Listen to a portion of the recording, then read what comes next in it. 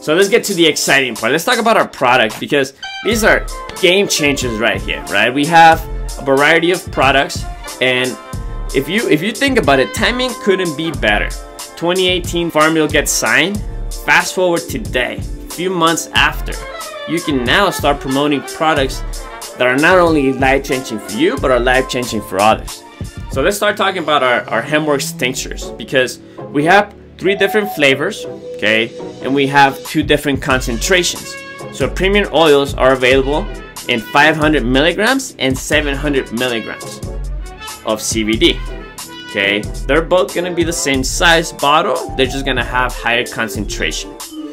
Now, going into the flavors, you're gonna have cinnamon, natural, and peppermint. The peppermint is amazing. That's my, my personal favorite